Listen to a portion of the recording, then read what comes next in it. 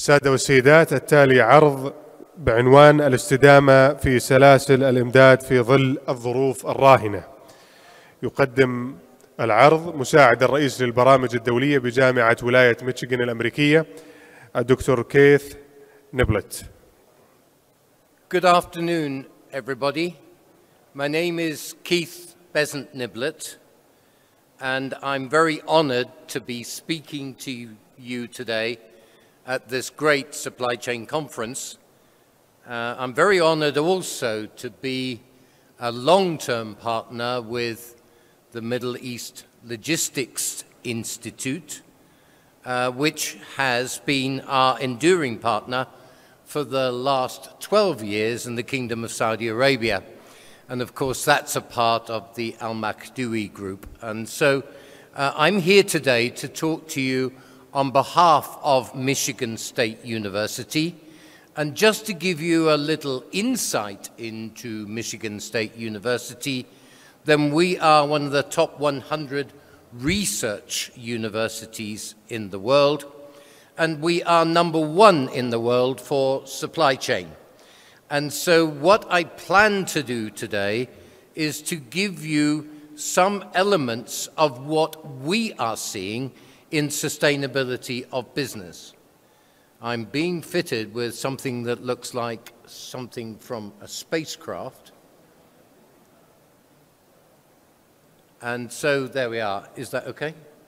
Put that in my pocket which means I can move around now, which is a lot nicer. So Michigan State University currently is in Michigan. It's in East Lansing. It's the headquarters uh, of the world. We are also in 90 other countries, and our foundation is very firmly to try and help develop processes, methods, and systems throughout the world. Uh, we have an annual research budget in approaching $800 million a year, and the actual total revenue for uh, the organization is 1.3 billion. Um, and we have on any given day on campus 51,000 students, uh, of which 12,000 are masters, and we have 1,000 PhD students across our 15 colleges. So that gives you a feeling for what we are and uh, where I come from. Of course, what we're talking about is sustainability. And if we're talking about sustainability, we're talking about two separate things. We're talking about sustainability of the planet, and we're also talking about sustainability of businesses. And it is an absolute fact that businesses have to reinvent themselves now every 15 years. Now, that has come down in the last 15 years from 32 years. And if you were to take 25 years ago, then they said on averagely, then businesses could only reinvent themselves every 62 years. So now we're into this 15 year cycle. It's so important to understand why. And this slide will actually tell you if you can see it. It took airlines 64 years to actually arrive at 50 million users. It took television 22 years. It took Facebook four years. And it took Pokemon Go 19 days. That's the speed of change. And of course, the great driver for change, as previous speakers have said, is data and is technology. So I think it's important to understand that against the backdrop of how do you sustain your businesses on one hand, and how do we sustain the planet on the other hand. Oh, it's gone off. How do I get it back? There we are. it's, it's been a bit temperamental. I don't know what to do. Ah. If you were to look at the th two current models that we use in the United States, that is also relevant uh, to Europe as well, then you can see that the model on the left-hand side is about looking after three things. It's the planet, it's still retaining profit, because profit is essential. And it's also about developing the people because the change is going so fast. So that's one model that we're using because if you can actually get a combination of the three together, then you have sustainability right in the center of that Venn diagram. On the other side, you can also see how we are developing supply chain models to look after sustainability. And sustainability, therefore, has a financial element, it has an environmental element, and it also has a social element. And social is about shared knowledge, it's about accepting responsibility, it's about quality of life. It's interesting that this has now become a part of the United Nations, and the United Nations commissioned Kate Raworth, the economist, to develop a model which has seven ways to think like a 21st century economist.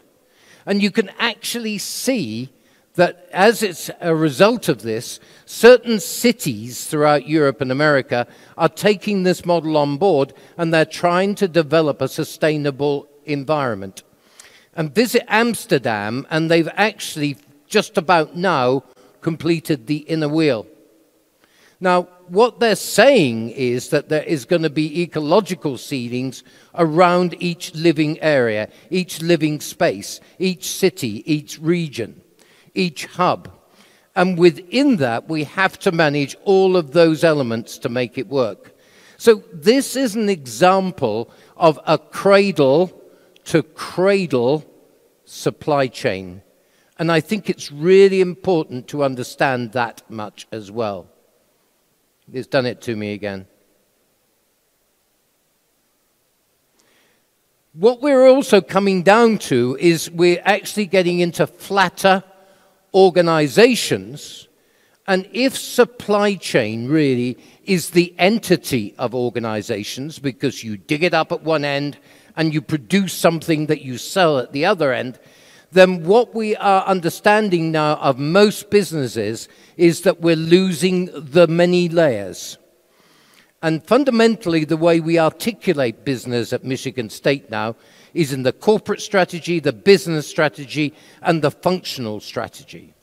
Now, the key there is that we are now looking at bottom up strategy, where strategy is so fast, it has to develop. You've only got 15 years to reinvent your business totally, that you have to rely on a lot of functional strategies for the day to day working. And this is important. Big ideas come from the top big strategy comes from the top, but the little incremental continuous improvement uh, changes all happen at the bottom. I was mentioning to colleagues this morning, if you were to think about Edison inventing the electric light, then he didn't actually invent it. He had this big idea, this blue ocean vision of saying everything in New York should be electric.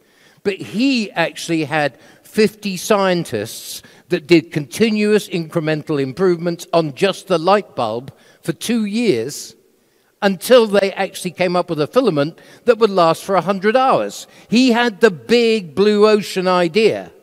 But the people at the bottom, the functional strategists, actually did most of the work. And so, as a result of that, you still have the big ideas in strategy, and you still have the divisional strategists in the business strategy world that are focusing on core products. But at the bottom, you're enabling and allowing people at the bottom to make these incremental improvements that will develop strategy all by itself. And I think it's so important to be that because therefore the whole organization becomes a supply chain. It's absolutely inevitable that that happens. So we are living in a VUCA world. And this term is almost overused, but it's worth remembering that there is no way now, even with big data, that we can actually predict the future accurately. Most things happen almost as a surprise because it's volatile, it's uncertain, it's complex, and it's ambiguous.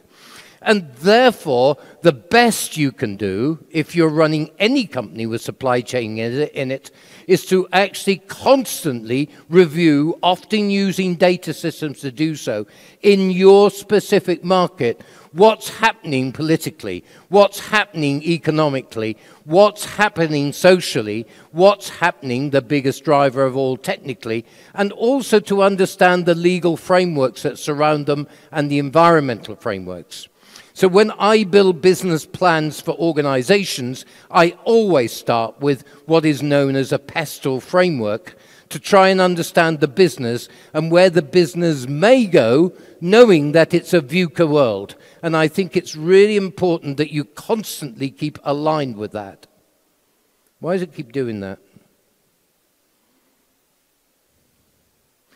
Strategy and supply chain is becoming a series of plans carried out at the highest possible speed. We haven't got time at corporate level now to sit and ruminate upon it and to think about endless board meetings before anything happens. Now, I love some of these quotes. I won't use anyone, but the top quote is my favorite quote.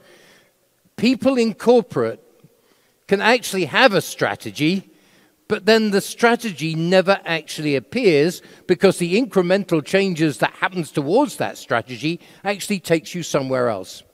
And there was a very famous world heavyweight champion called Mike Tyson that said, I used to spend months training to actually have a strategy in the ring, and then everything changed because somebody punched me in the mouth. And I think that's so important that you understand that if you're at corporate level. Lawrence Freedman, who was one of my heroes, one of the greatest strategy men of all times, actually said the world is full of strategy and full of disappointment and frustration, of means not working and the ends not reached. Therefore, corporate teams will have to do strategy quickly, but never expect that strategy to actually result in the end game you envisaged when you created that strategy. And I think it's so important to think of that as a result of that, because of bottom up strategy, then open system strategy is becoming the norm, where open system strategy, which is still evolving, is based on looking at markets in terms of political, economic, social, and technical, and then from there to actually take your decisions.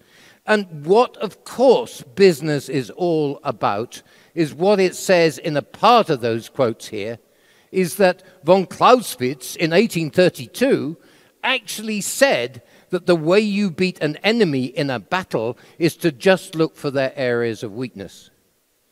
And so you don't try and fight some people in a competitive marketplace just on their strengths you look for a value proposition that is vastly different or as different as you can make it in a crowded market, in a VUCA world, as quickly as you possibly can.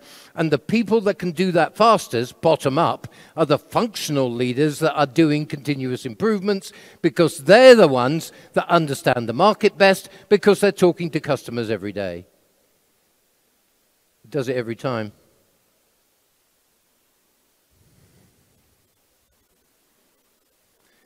So, what is the sustainable supply chain? I love this quote from the long and missed Steve Jobs. You can't connect the dots looking forward, you can only connect them looking backwards. So, you have to trust that the dots will somehow connect to your future. This is back to VUCA this is back to doing your PESTELs. Supply chain strategy is an integrated part of the whole strategy of the organization. And as the supply chain or the value chain is integrating, then many organizations reside in just a part of it. So you have trucking companies and you actually have warehousing companies, but they're all a part of this end to end value chain or supply chain. And therefore, they've got to start talking to each other to try and get that integration and therefore separation only when you're competing as a trucking company with another trucking company. But if you're actually dealing with a warehousing company, you try and get this developmental science together where you are all trying to add value in one go. And that will all be driven by VUCA because that means that every month, every six weeks, Every eight weeks, something is going to happen, which means that you have to change. Top of mind drivers that deserve deep consideration. When you do your PESTEL, then it's becoming incredibly important that we start to look at the ethical world. We've got an ethics institute at Michigan State University, and their golden rule is do the right thing in the right way for the right reason. And therefore, most business now cannot be conducted, conducted unethically. And there's also a tectonic shift, which is commonly called in Europe and America ESG, which is about environmental and social and governance, which is back to the opening models that I showed you three or four slides ago.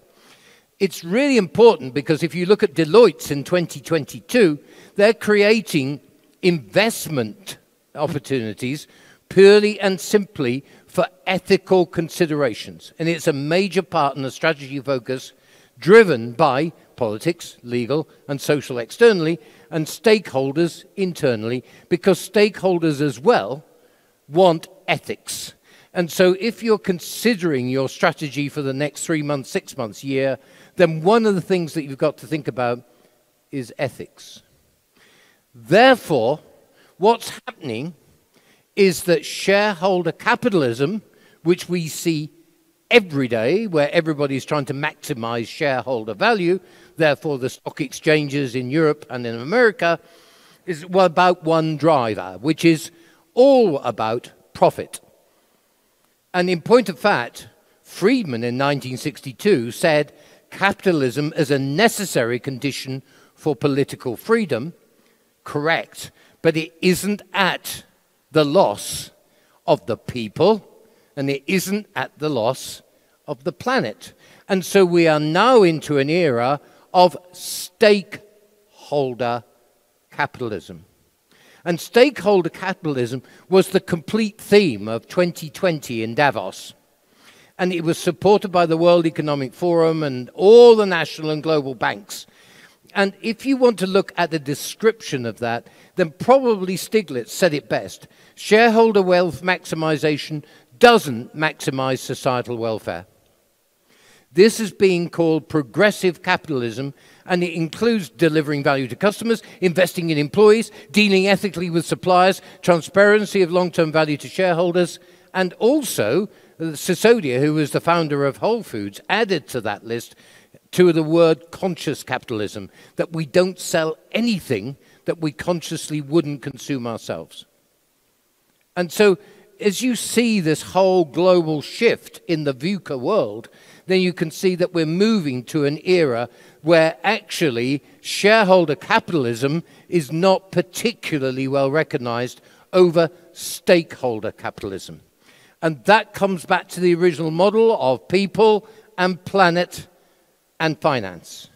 And you can actually see now in a lot of organizations where they are saying we have a certain amount of money that we will fund charity. We have a certain amount of money when we will do good works for the people that surrounds us. If you look at Salesforce in the west coast of America, then they are building schools for their, eh, the children of their employees. They're building social housing. So you can see that it goes beyond a company making a profit anymore, and it goes into a social system that they're involved in it means that they are ethical in the eyes. And it's really interesting because, again, Saudi Arabia is one of these countries with a young population. You know, your population average is 27 and a half years. The population average in, in Germany is 43 years. So you are a young population. And if you look at younger millennials and Gen Z, then they would actually put the planet and social needs before even a job. And I believe that is significant also in Saudi. If you were to look at change, then John Kotter is the man that talks about this, and he's developed this eight step model. Now, when he wrote it 20 years ago, he thought this was top down.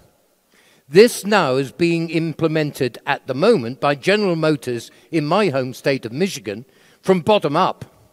In other words, everybody is learning how to make electric vehicles using John Kotter, and because it's incremental change on the production lines, then they are using this model from the bottom up, therefore creating strategy from the top down.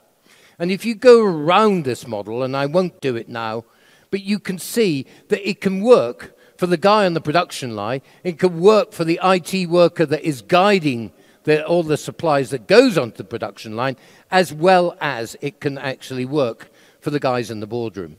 And so, if this becomes a unifying model of constant and continuous change, and everybody understands it throughout the organization, they're playing from the same hymn sheet. And I think it's important to understand that. If you were to look at, I often teach in the past, then it was Porter's five forces model. And that was the way in which you tried to understand the competition. That's been replaced. Because instead of actually doing that, which is quite an onerous process and the process of many case studies, then in business now they're using the industry analysis model. So when you are actually understanding the industry you're in, here is the model. And it's really very quick to do and again, what we are implementing across the states through Michigan State University is enabling functional employees to be able to do this for their line specifically. So a guy that is building a specific model of car can use this to say, I think we should change this a bit because I've now done my industry analysis model, and I actually know from my mark that we could add this and take away this. It all becomes, if you like, a big electronic suggestion box, which means you can do continuous improvement almost on a monthly basis. And it's important to understand that. Another model that we're actually embarking at in three levels is for people to look at their own product life cycles.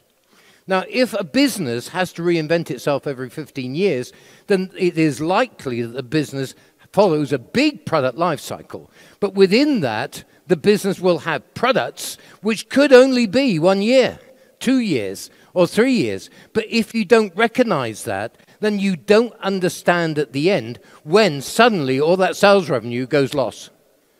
And product life cycles are getting shorter and shorter and shorter because change is happening faster and faster. So, another model that we're using throughout the businesses that we work with is looking at the product life cycles of each individual product or each individual service. And that actually fits neatly straight into supply chain. This is a very sensitive tool.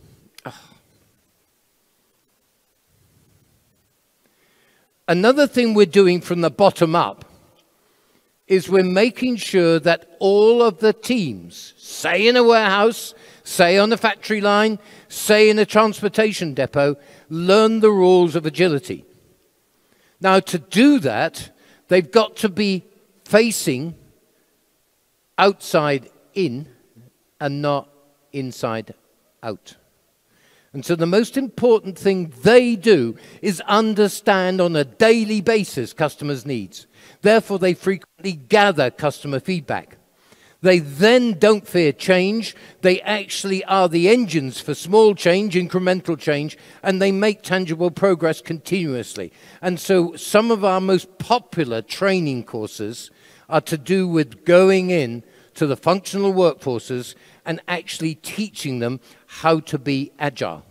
Now, that can only work as long as the next level approve of it and the board ratifies it. But if we can get that understanding, agility has created tremendous gains, which are incremental change gains on a weekly and a monthly basis, and actually increase productivity by anything up to 10% within three months. Obviously, and the previous speakers talked about it, then every form of technology is happening in supply chain at the greatest speed augmented reality, which is why Facebook became Meta. Facebook is finished, really. It's done its 11 year cycle, 15 year cycle has to completely change. The metaverse is where he's going to. He's reinventing the business. And of course, augmented reality is, he sees, as a part of the big future. Therefore, augmented reality as a training and learning tool, as a developmental tool, is, is gaining pace data analytics. And of course, there's all forms of data analytics because you can do predictive data and you can do reactive data, which normally comes from within your own business. It's the aggregation together of both of those that means that you can actually have that 90 day advantage in the market if you were to look at classic case studies of that, then Zara actually has both reactive data from their shops and predictive data by actually web crawling on the web to discover whether a blue dress should be a red dress in three weeks' time. Because you can data crawl not by looking at websites, but by looking at what is on the blogs, what is in the conversations. And that means that with data analytics, you're now getting into all forms of machine learning, but also artificial learning. And it could well be that very shortly we'll be using quantum to try and analyze that data at the highest possible speed. Cloud computing joins it all together. Who owns the biggest market share in the world of cloud computing? Well, it's called Amazon. They've got 34%. If you were to think about that, then there's a huge amount of power just in one company. Then there's autonomous robots. Again, if you go to an Amazon warehouse, then 50% of all the routine jobs is now done by robots, and it will go up and up and up. And we all know that some cars now are made completely by robots. That is going to become a part of everyday life. In North America, there's such a shortage of basic servers in restaurants, they're starting to use robots to actually deliver the food. So you can see how robotic technology is actually going at a massive speed. The industrial Internet of Things, the IoT, is so important because I talked about it earlier. If you're in transport and you want to know about warehouses, don't pick them, the phone up. Get a data stream that runs between the two of you so you can actually create a continuous service. And also, the new thing is additive manufacturing. And of course, that means that you can therefore make houses on the moon with 3D technology. So as soon as you actually start thinking about all of this, this is happening at the speed that Pokemon Go is actually launching on the market. And all of these things are so important when you're considering the future of your businesses. Customer experience is becoming huge. It's quite interesting because we are obviously the car capital of the world in Michigan. Therefore, we study Chrysler and we study Ford and we study General Motors very closely. When Ford sells an F 150, they don't leave it there, they follow their customers. They have chips in the cars that can tell how many times they break in a day. They've got chips in the cars that tells if, uh, if, the, if indeed that one of the tires is going down. But they also have face-to-face -face meetings with their customers and they'll find them in car parks in Home Depot or one of the big superstores, and they'll say to them, Now you've bought the car, how can we improve it? And so they have, through customer experience, developed a continuous line straight back to their moving supply chain. And if you were to believe this, I found it incredible. But as a result of customer uh, experience feedback from the last five years, they've now got 220,000 variations of the F-150 truck that they can offer customers if they ask for it because they've asked for them in the car parks after they bought the vehicle and they'll add them in. It might be just two extra lights, it might be a slightly different mirror or a window, it can be some tiny little things. But it means that every truck they produce on the moving production line now is tailor made precisely to the needs and the future needs of the customer. So nothing now is standard on the F-150. Everything is something you can buy, and there's 220,000. I'm told if you buy a new F-150, it takes you six hours to buy it because there's so many checklists that you can go through. But this is all done, really, basically, by interviewing customers after they've actually bought the vehicle. And this is what customer experience strategy is becoming in most modern organizations. And supply chain is really simple because you've often only got 20 big customers. And if you can't do customer experience strategies for those 20 big customers, then you're actually not doing your job anymore. Design thinking is really interesting. It's a huge thing that's going on because it's not iterative. What you're trying to do, von Trompenaar, is you're trying to find those low gaps in the competitive landscape. And you're saying, if I design in a certain way, will I fill that gap? If I empathize with my specific market and I define what the gap could be, how do I ideate how does that happen? This is incredibly creative. And the best people that do it are the people that are at the bottom. Because they're so close to the customer, they see their customers every day. And some of the best ideas don't come from the board, they actually come from the bottom. And then, of course, you don't launch straight away, you prototype and then you test. And so that's another idea that you should be thinking of right now. And then, of course, there's customer journey mapping.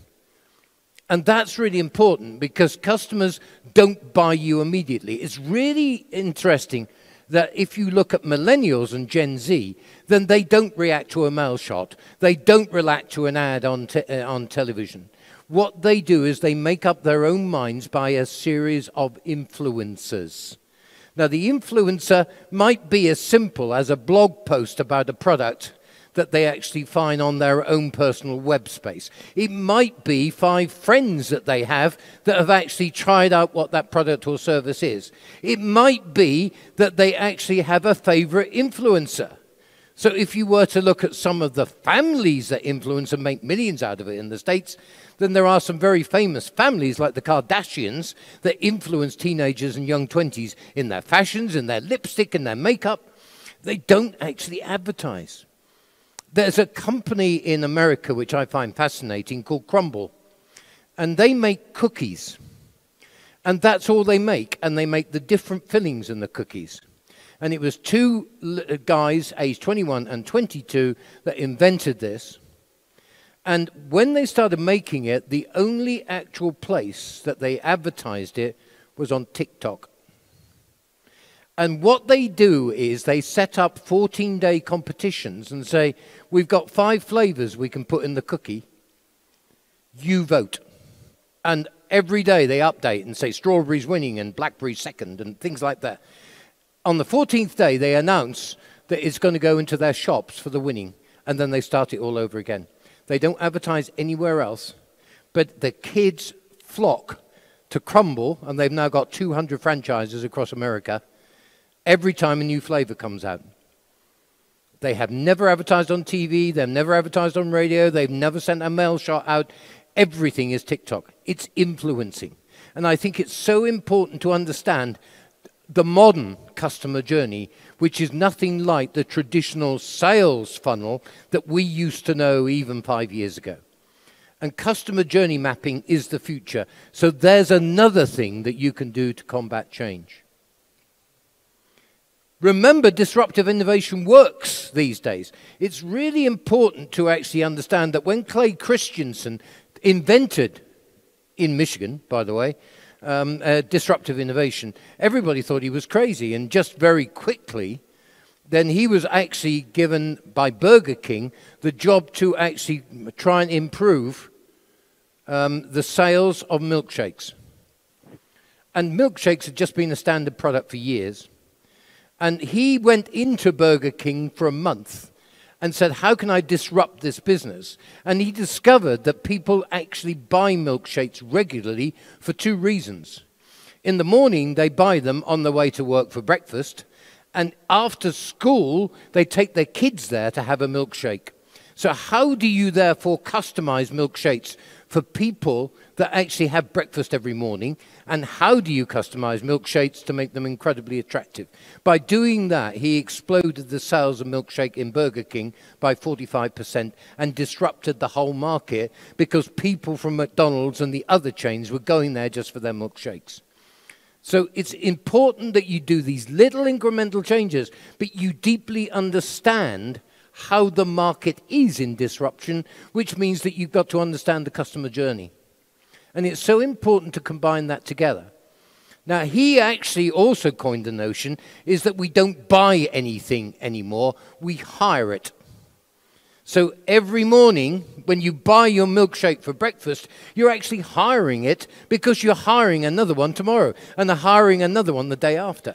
And then, if you can get the combination of muesli and things right in the milkshake, then you will get a captive customer that hires a milkshake from you every day. Very important to understand what disruptive innovation is. And it, of course, is all a part now of the VUCA world, where unseen competition can suddenly storm into your weak point and take over considerable market share.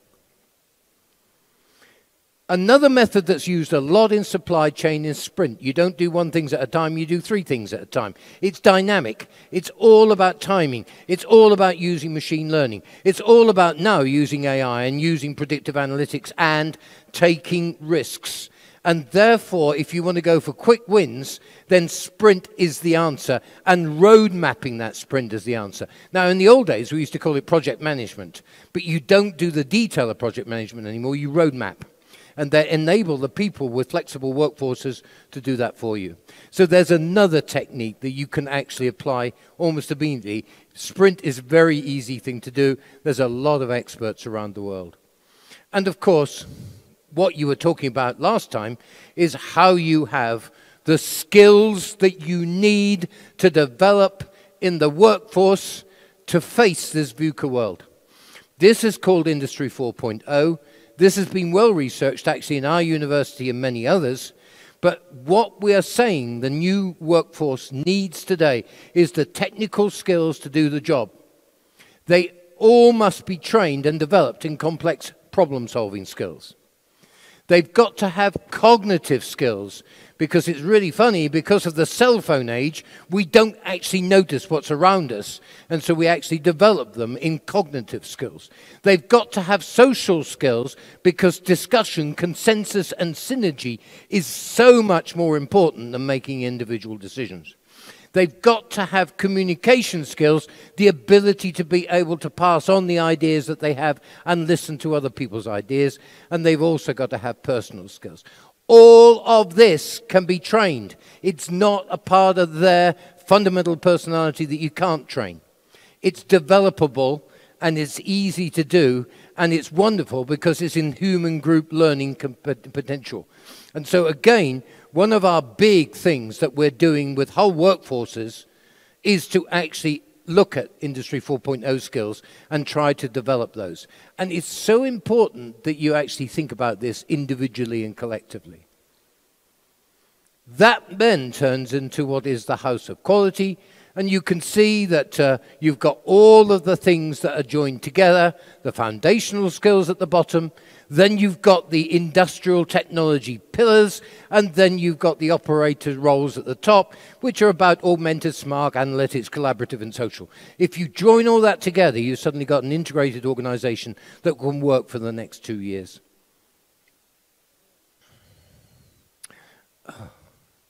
And then, finally, because we're near the end, and I think I've done my time, then think about two minutes, is it? Right, thank you. Then, if you look at McKinsey, who are really implementing this from a consultancy basis, then they're saying you are now reinventing your organization. Remember the 15 year product life cycle. You've got to look at your purpose. You've got to look at your value agenda. You've got to look at your culture. And then you then take the ecosystem around the edge. This then covers off sustainability in your business and sustainability of the planet. And all of those are gathered together. So, my final point is the way you do it in the future is by proactive, collaborative, shared leadership for sustainability, predict change, foster teamwork, become an expert in the global world, know that trading patterns shift annually and therefore you can't rely on them, and use the power of artificial intelligence, your strength will always be asking the right questions. Thank you.